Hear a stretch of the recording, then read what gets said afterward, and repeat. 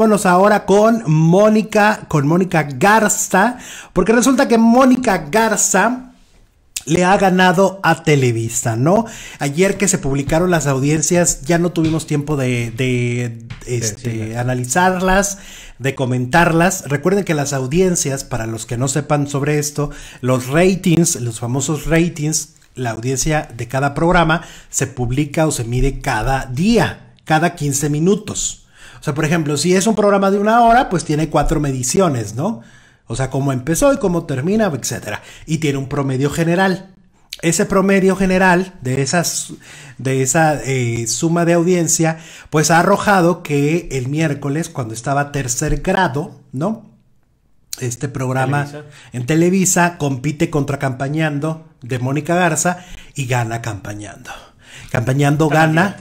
¿Eh? Está más divertido. Es, mucho más divertido, sobre todo creo yo que eh, como utilizan la comedia, ¿no? También, o sea, es, es, usan el humor negro, usan esta sátira, eso jala a la gente, porque la política es eso, o sea, la política te ríes, es humor involuntario, es terrible lo que a veces ves, pero también te genera este tipo de risa de no es posible, esto, esto es una broma. Fíjate que yo antes veía tercer grado, pero me, me aburrió se me hace tan acartonado todo lo que dicen ahí, todo, y, ves un programa fresco, y irreverente y que al mismo tiempo está dando información, pues le cambias. ¿no? Como aparte lo hacen por temporadas, no sale siempre, pues están totalmente eh, frescos. O sea, el asunto está que no están saturados de su propia fórmula y el público tampoco está saturado. Entonces el programa de Mónica Garza dedicado a la política, lo, eh, todos los días se transmite después de hechos, pues está ganándole a Televisa y a Imagen y a quien se atraviese. Al que se le ponga enfrente, ¿no? La audiencia es muy alta. Pues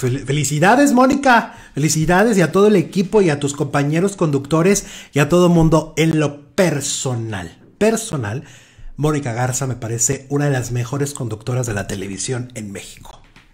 Ahí está. Tenemos super chats. Ricardo Lozano nos manda 20 pesotes mexicanos. Gracias. Muchas gracias, Ricky.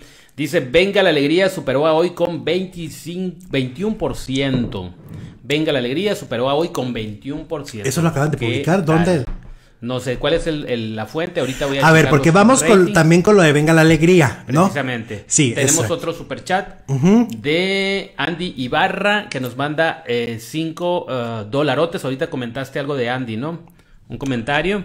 Muchísimas gracias, Andy. A ver qué más nos puso. Nada más. Gracias, muchas, gracias. de verdad. Y eh, me preguntan, nos preguntan acá qué edad tenemos. Yo 36. Yo 46. Ay, no, ya 47. Ya cumplí el, en enero. Ahí están las edades. Y eh, bueno, este miércoles Venga la Alegría superó a la competencia. Acabaron con Cuéntamelo ya. Bueno, Cuéntamelo ya acabó con sí mismo. O sea, ese programa ya tienen que estar contemplando o renovarlo muy fuerte. Fíjate que yo desde, te voy a contar una cosa, desde el primer programa nunca he hecho clic con Cuéntamelo ya. Me parece un programa, es un híbrido muy raro entre un programa de revista y un programa de espectáculos y como está entre esos dos mundos, no lo defino, no lo entiendo y no me gusta. Es algo parecido a los temas de Mimi, ¿no? Ajá, que no van, que no sabes qué, por qué camino agarrar. ¿Por, dónde van? ¿A dónde van? ¿A dónde van? ¿A dónde van? Y entonces por eso creo que ese programa, aunque en algún momento ha tenido más audiencia, yo nunca he conectado, nunca voy a conectar. Las conductoras tampoco, o sea que tampoco entiendo en dónde están, en medio de qué están. Em, superó a la competencia por el 3% de rating entre las 12 del día y la 1.30, ¿ok?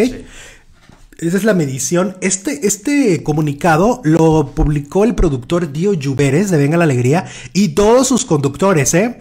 Ahora sí que todos eh, al mismo tiempo eh, compartieron el gráfico. Venga la Alegría tuvo 676 mil espectadores en esa hora que indican y cuéntamelo ya estuvo con 597 mil. Entonces aquí pues Televisa tiene que poner atención, hay foco rojo, Aquí hay un foco rojo, muchachos, con cuéntamelo ya.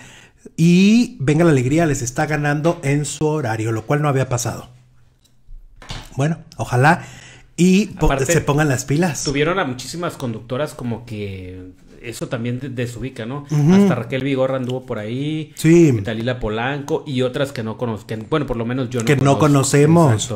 Sí, sí.